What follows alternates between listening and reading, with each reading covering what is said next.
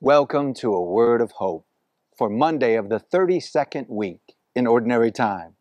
My name, once again, Father Brendan Curran. If I fly to the heavens, you are there. Where can I go from your spirit? In the farthest limits of the sea, you are there. We have a beautiful Psalm 139 from today's liturgy of the church. And it's a powerful example to us in this month of giving thanks, of gratitude.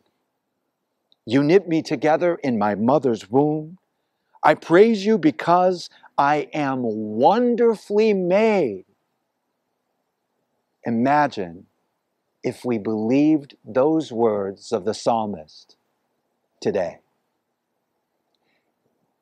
And let that be a word of hope.